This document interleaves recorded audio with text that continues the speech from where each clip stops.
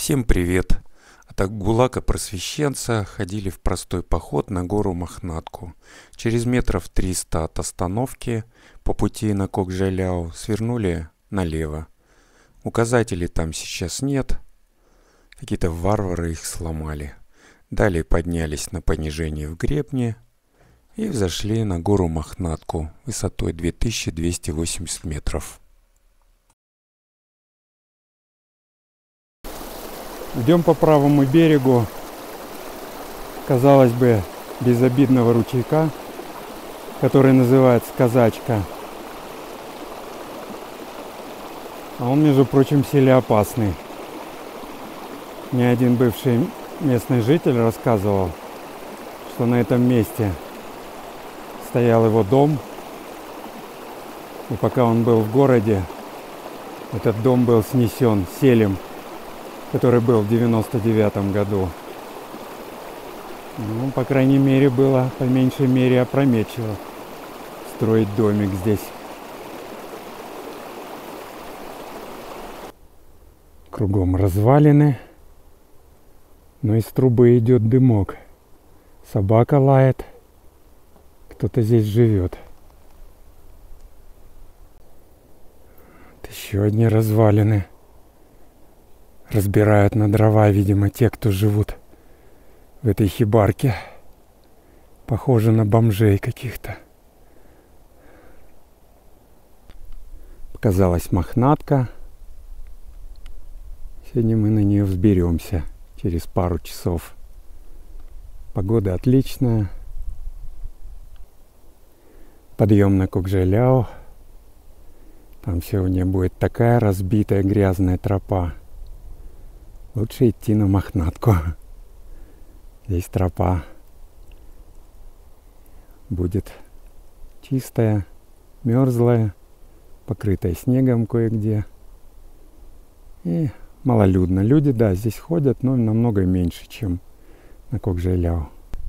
Очередной указатель на фоне Мохнатки.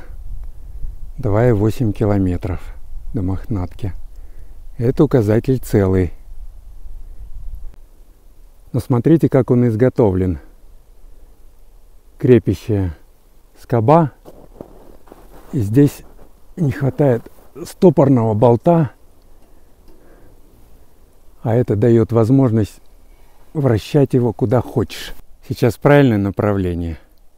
А я видел, как он как-то был направлен вот сюда. Какие-то нехорошие люди.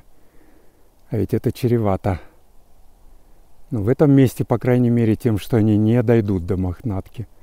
А в других местах это может привести к гибели. Не делайте так. А вообще, или Алатауский парк должен сделать правильные указатели. Прочные и такие, чтобы их невозможно было развернуть в другом направлении. Как в одном советском фильме, по-моему, «Спортлото 82», да. Справа по ходу движения территория бывшего, теперь уже приватизированного санатория просвещенец. Хорошо там, я смотрю. Площадка футбольная или корт.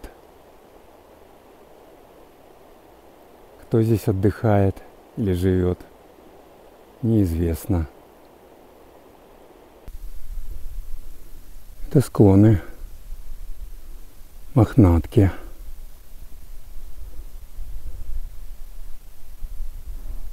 Сосновый лес.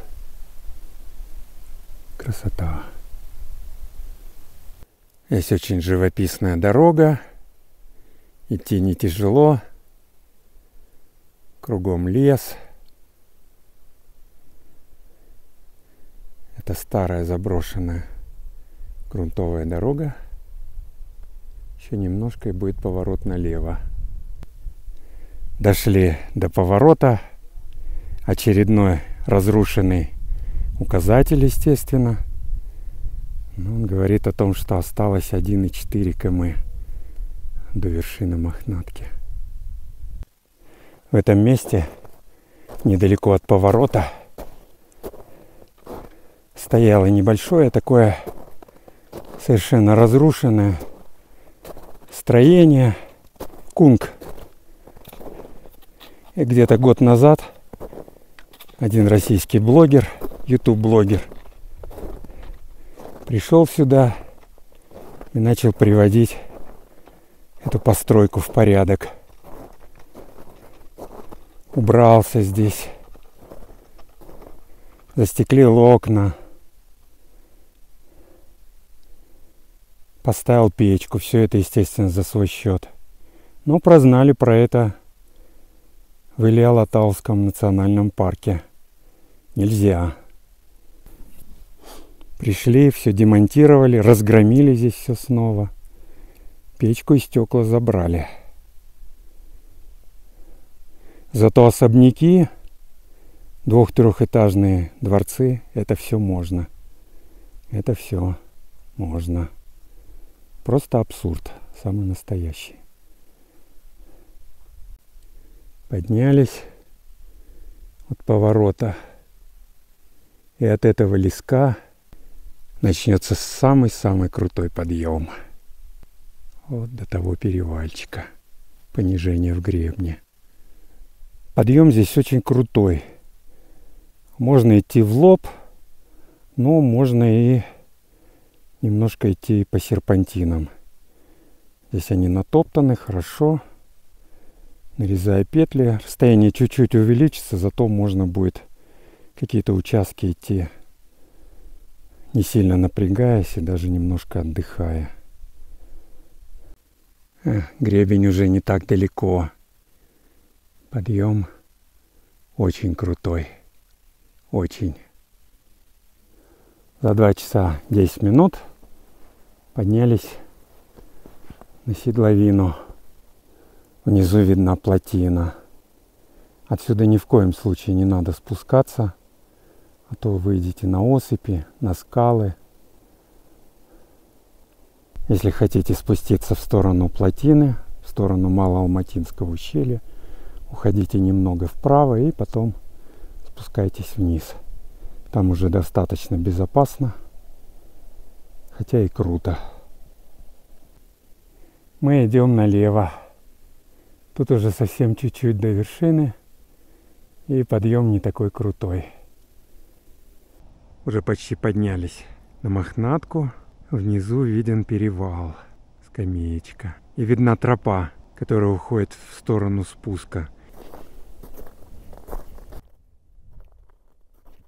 За два с половиной часа поднялись на вершину горы Мохнатка.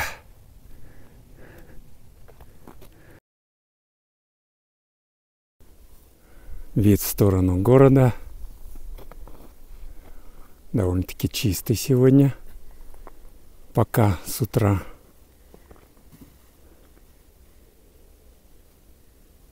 Кукжайляо видно слева.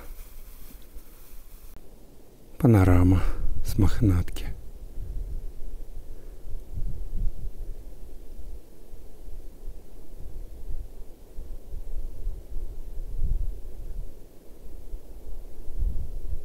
Слышно, как машины гудят по дороге на Чембулак.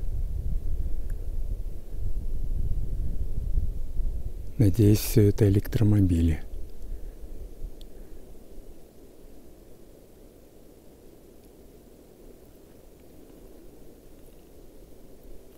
Хороший вид отсюда. Кумбель. Пикник на горе Мохнатка. Ну, по-моему, не совсем заслужили, так быстро дошли. Короткий маршрут. Или заслужили? Ну, заслужили. Подъем, да, крутой.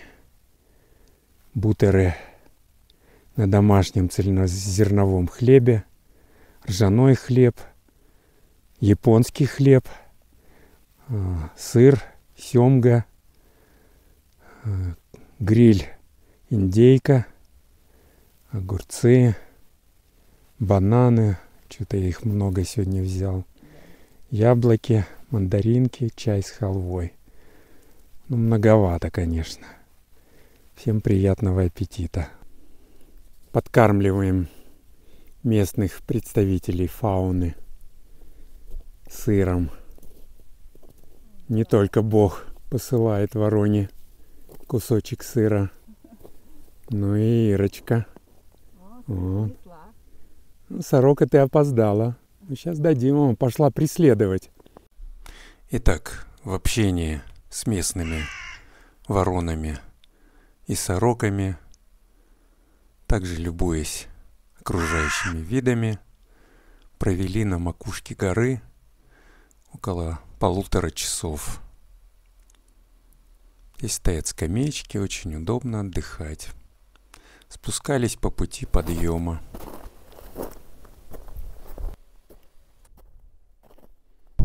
Закончился наш небольшой походик. Едем в город. Общее пройденное расстояние около 7 километров. Набор высоты около 800 метров. Совсем несложный. Ну, Всем крутой. пока. До новых встреч в горах.